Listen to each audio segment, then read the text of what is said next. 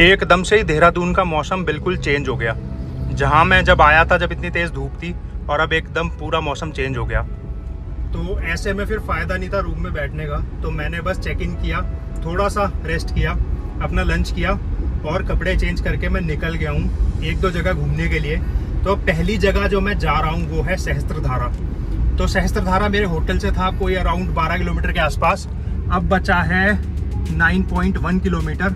आधा घंटा लगेगा और रास्ता बहुत ही अच्छा है। तो मैंने सोचा कि जब मौसम अच्छा हो गया है तो क्यों ना मैं भी अपना बाहर निकलूँ। होटल में अकेले पड़े रहने का कोई फ़ायदा नहीं था। तो इसीलिए अब चलते हैं पहली जगह पे सहस्त्रधारा पे।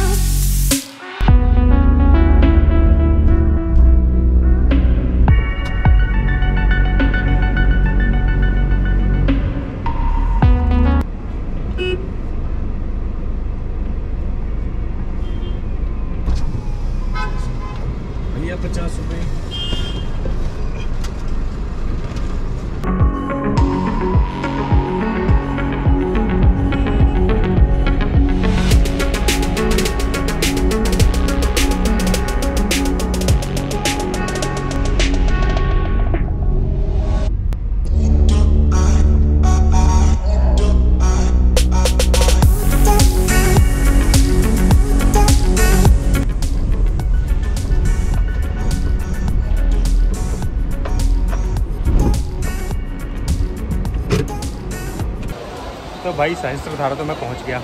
और जो सबसे बड़ी दिक्कत है वो यहाँ पे है पार्किंग की। मतलब ऐसा कोई डेजिग्नेटेड पार्किंग स्पॉट नहीं है।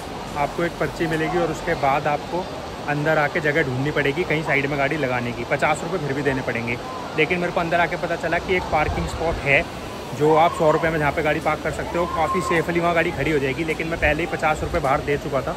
तो फिर मेरे को लगा नहीं कि कोई फ़ायदा है वहाँ गाड़ी खड़ी करने का। मैंने एक ठीक ठाक साइड में गाड़ी लगा के खड़ी कर दी है।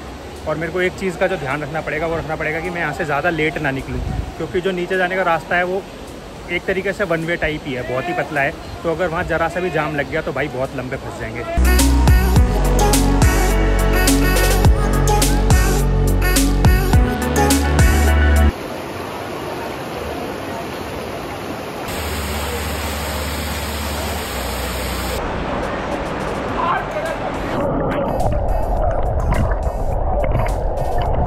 पता नहीं मेरी आवाज़ कितनी समझ में आ रही होगी, क्योंकि पानी का फ्लो बहुत तेज़ है।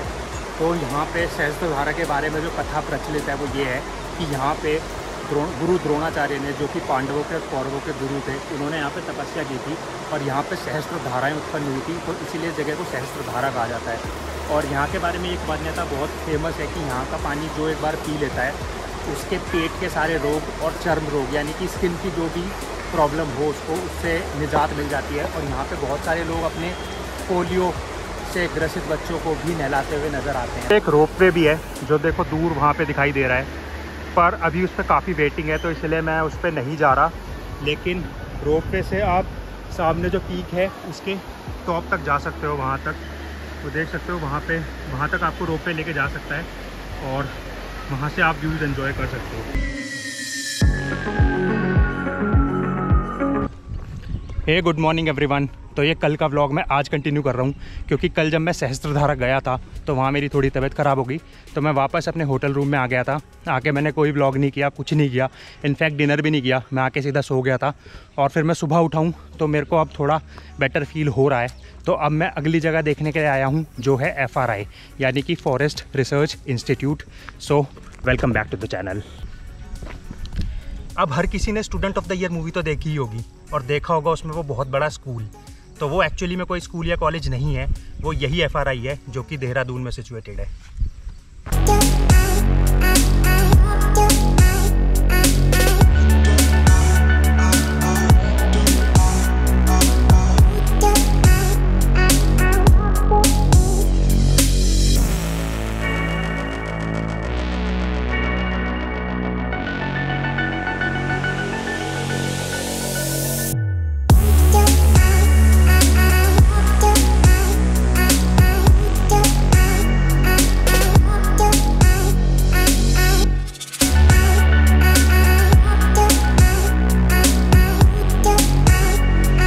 भाई एफ़ के अंदर चार म्यूज़ियम है, जिनका आपको एक ही जॉइंट टिकट मिल जाएगा तीस रुपये का। और किसी भी म्यूज़ियम के अंदर फ़ोटोग्राफी या वीडियोग्राफी बिल्कुल भी अलाउड नहीं है।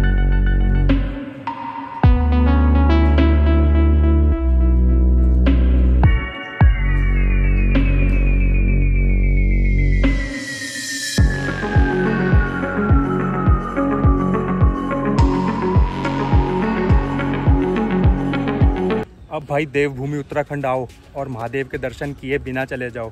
ये तो नहीं हो सकता। तो अब जो मैं अगली जगह आया हूँ, वो है टपकेश्वर महादेव मंदिर। बहुत ही माना हुआ मंदिर है महादेव का, देहरादून में। तो चलो, आप लोगों को भी दर्शन कराता हूँ। ये है टपकेश्वर महादेव मंदिर की पार्किंग। काफ़ी बड़ी पार्किंग है स्पेशियस कहीं भी आप अपनी गाड़ी खड़ी कर सकते हो। मेरी गाड़ी यहाँ खड़ी हुई है और अब चलते हैं अंदर।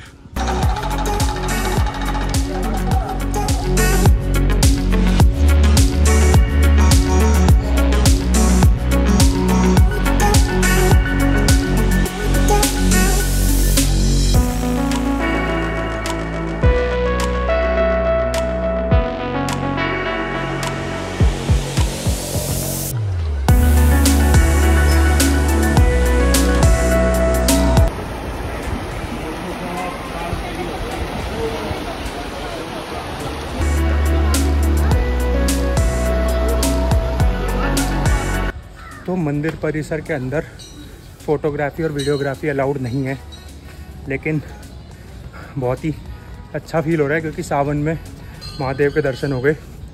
तो भले मैं आपको नहीं दिखा पाया लेकिन मेरे को बहुत अच्छी फीलिंग आ रही है।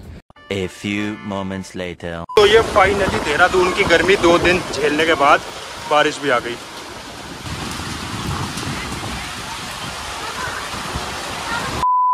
तो दो दिन से देहरादून में जैसा मौसम हो रहा था, बिल्कुल उससे उल्टा मौसम हो गया है। बहुत ही बढ़िया बारिश हुई और बारिश अब फाइनली रुक गई है और मैं वापस आ गया हूँ गाड़ी में। तो अब वापस चलता हूँ होटल की तरफ़।